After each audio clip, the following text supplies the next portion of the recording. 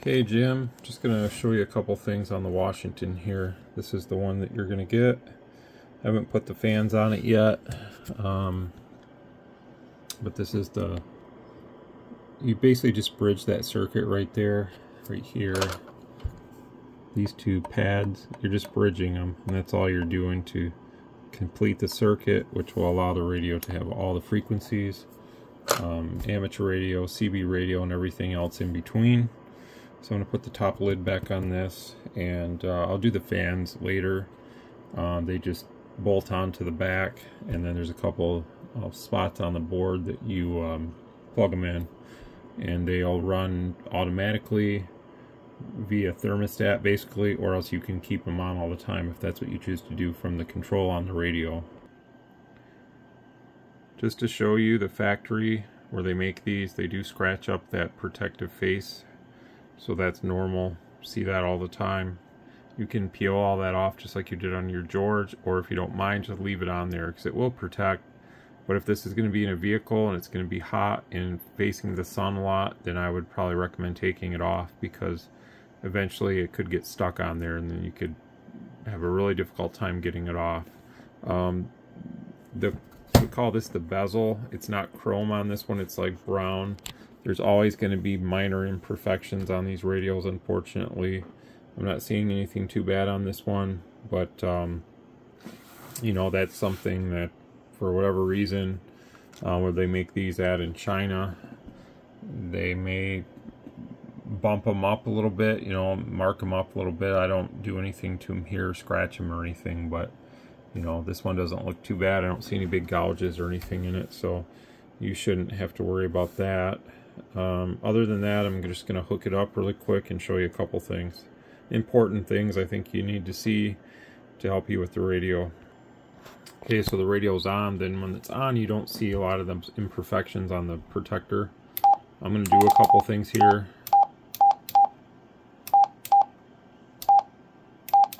I'm going to turn that key beep off because that just totally annoys me. If you like it, you can turn it back on uh, indicator. I'm going to put it to standing wave. So when you transmit, it's going to show standing wave. Um, this is going to be temperature. It's going to show the temperature on the display.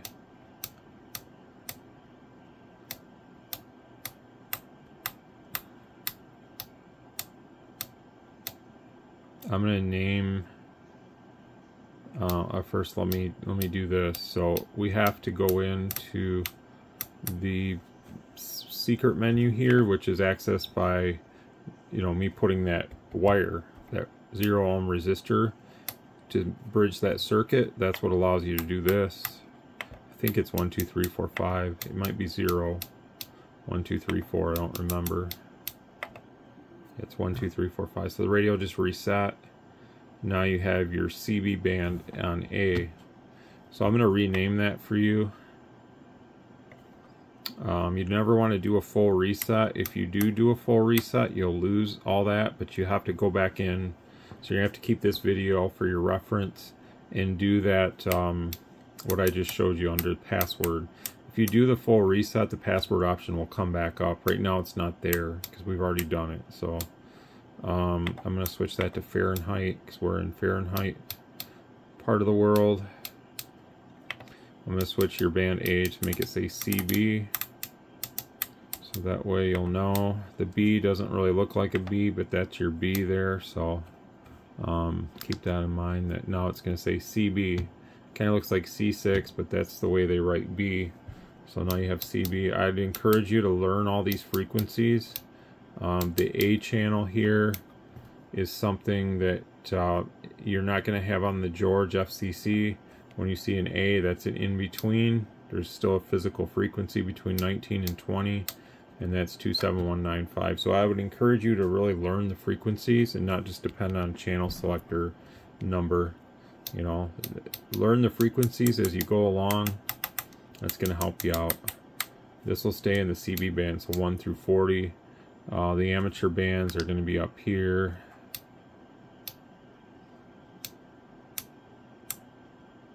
Band F is your 10 meter. If you get your technician class, you have privilege from 28300 to 28500. So when you're going to use this for amateur radio, what I would recommend that you do is switch on the span setting, which is here. And what that's going to do now is allow you, when you tap this button, you see how it's blinking the numbers. Um, in amateur radio, we don't use channels at all. We use frequency only. So you can you can go through it like this, 28.3 to 28.5, and listen. Of course, you'd be on upper sideband here. This is all stuff you'll learn um, as far as what frequencies. It doesn't matter if these say A or anything that is a non-factor for these frequencies. This whole channel thing here shouldn't be here in my opinion. They could have done away with this as an amateur radio.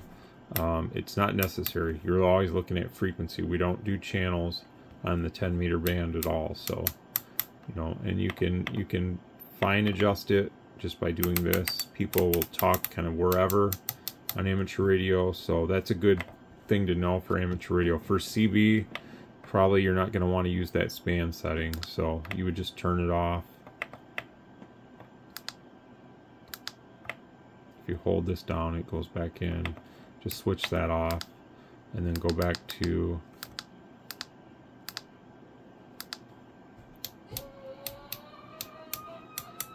CB band right there. So that's basically the same, you know, usability as your George minus you're going to have the A channels. There's only a couple A channels in this band, which one is here, another one's here, another one's there. Your George FCC won't get those A channels, so just remember that.